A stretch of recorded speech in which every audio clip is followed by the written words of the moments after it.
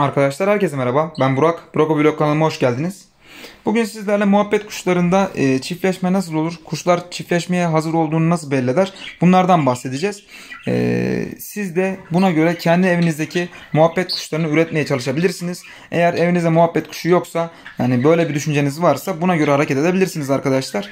Eğer e, kuş alma düşünceniz de yoksa ya da evinizde kuş da yoksa bu videoyu e, keyifli bir şekilde izleyebilirsiniz. Şimdi arkadaşlar Bildiğiniz gibi muhabbet kuşları Türkiye'de bayağı sevilen kuş türlerinden birisi. E, herkesin mutlaka evinde bulunmuştur. E, kendi evinde bulunmasa bile yakın akrabasında, komşusunda mutlaka bu kuşlardan görmüşsünüzdür arkadaşlar. Bu kuşlar e, bu kuşların özelliği ne ki bizim ülkemizde bu kadar fazla seviliyor?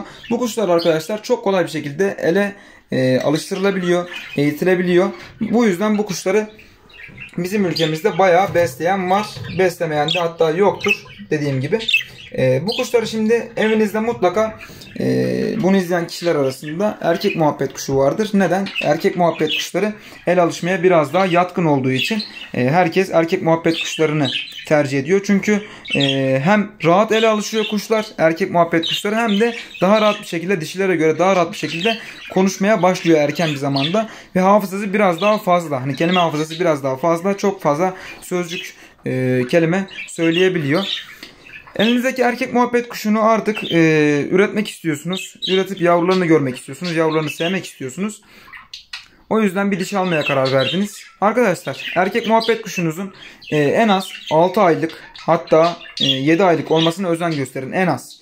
E, bana kalırsa bir sene e, bir yaşında olması daha güzel olur. Ancak 6-7 aylık olursa e, o şekilde de yavru alma imkanınız var. Şimdi arkadaşlar e, yaşı nasıl öğrenebilirsiniz? Hemen Google'a giriyorsunuz. E, muhabbet kuşlarında yaş nasıl öğrenilir diye. Bunları zaten e, göz çevresinden mesela burada gördüğünüz büyük bir muhabbet kuşu yani yaklaşık 3 3 yaşında, 2,5 3 yaşında falan e, ayaklarından anlayabiliyorsunuz pul pul olmasından. Mesela burada yukarıda gördüğünüz dişi de daha e, yeni yeni bir yaşına gelen bir dişi. E, muhabbet kuşunuz 6-7 aylıksa en az e, 6-7 aylıksa ya da 1 yaşındaysa hemen alıyorsunuz o kuşu arkadaşlar. Güvendiğiniz ya da tanıdığınız bir pet shop varsa oraya götürüyorsunuz diyorsunuz ki ben buna eş almak istiyorum. Ee, oraya gittiğinizde arkadaşlar herhangi bir tane kuşu mesela beğendiniz hemen şurada dediniz bir tane sarı kuş var. Bu ne? Bu dişi. Tamam direkt alayım ben bunu gideyim demeyin. Ee, orada dişilerin bulunduğu bir kafes vardır. Bir kafeste komple dişiler vardır. Ee, bunun içine kendi erkek kuşunuzu bırakıyorsunuz arkadaşlar. Zaten pet shopçu mutlaka biliyordur bu işi. Hemen diyecek ki size kuş e, kuşun nerede? E, onu hemen alalım. Bu kafesin içine atalım. E, gerisini izleyelim. Aldınız kuşu. Kafese bıraktınız. Dişilerin olduğu bir kafese bıraktınız. İzlemeye e, bırakın kendinizi. Yaklaşık 10-15 dakika kuşunuzu uzaktan izleyin. Hangi kuşla daha iyi anlaşıyorsa yani anlaşma nedir? Yanına gelir gagalarını birbirine vurmaya başlarlar. Öpüşürler. Ondan sonra erkek kuş sürekli dişinin etrafında gider. E, bir tane seçtiği dişiyi görürsünüz zaten. O kuşu alıyorsunuz arkadaşlar. Evinize getiriyorsunuz. Aynı kafese bırakıyorsunuz. E, yuvalığını takıyorsunuz. Yüksek bir yerde olması kafesin daha güzel olur. Kafes yüksek bir yerdeyse kuşlar daha çok e, birbirlerine güven sağlarlar diyeyim ben size. Size güven sağlarlar arkadaşlar. O yüzden yüksek bir yere bırakın kuşunuzu.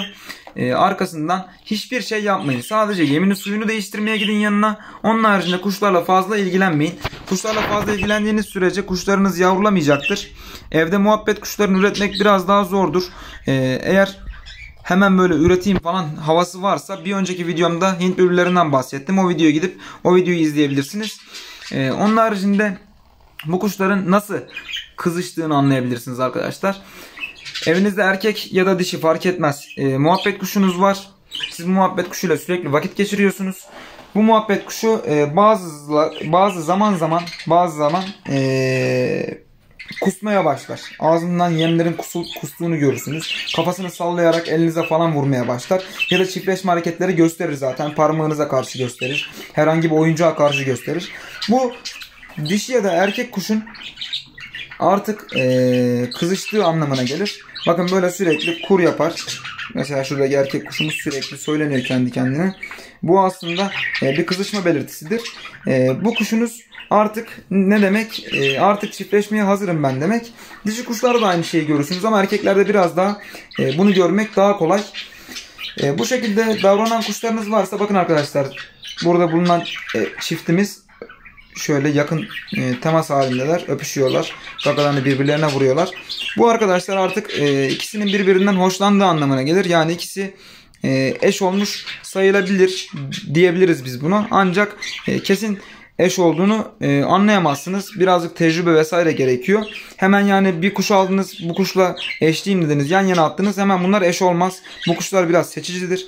Biraz daha e, özen gösteriyorlar bu konu hakkında. Yani baya baya eş seçiyorlar diyebiliriz. Ee, dediğim gibi arkadaşlar biraz daha muhabbet kuşlarını üretmek zordur. Ama imkansız değildir. Etrafımda çok yavru olan oldu. Muhabbet kuşlarından kendi buradan çift götürüp e, yavru olanlar da oldu. Benim e, misafirliğe gittiğim kişilerde yavru olanlar da gördüm ben. Mutlaka alınıyor ama biraz daha zor. Ben size onu söyleyeyim. İlla muhabbet kuşundan yavru almak istiyorum diyorsanız deneyin arkadaşlar. En azından bir deneyin. Bu işin tek kuralı bana kalırsa kuşlar eş olduktan sonra tek kuralı rahatsız etmemek. Evde rahatsız ettiğiniz sürece bu kuşlar yavru vermez. Kesinlikle yavru vermez. Yani verenler var mı? Var. Ancak e, çoğunluk yavru vermiyor arkadaşlar. Kendi tecrübelerimden konuşuyorum. Etrafımda olan e, kuş besleyen kişilerin tecrübelerinden e, yola çıkıp ben bunları sizlere söylüyorum. Bu şekilde muhabbet kuşlarından siz de yavru alabilirsiniz. Umarım videomu beğenmişsinizdir. Kanalıma hala abone değilseniz abone olabilirsiniz. E, bu tarz videoları daha çok istiyorsanız arkadaşlar kanalıma mutlaka abone olun. Yorumlarda da hangi tarz videolar istiyorsunuz bunları da belirtmeyi unutmayın arkadaşlar. Hepinize çok teşekkür ederim. Kendinize çok iyi bakın. Görüşmek üzere. Bay bay.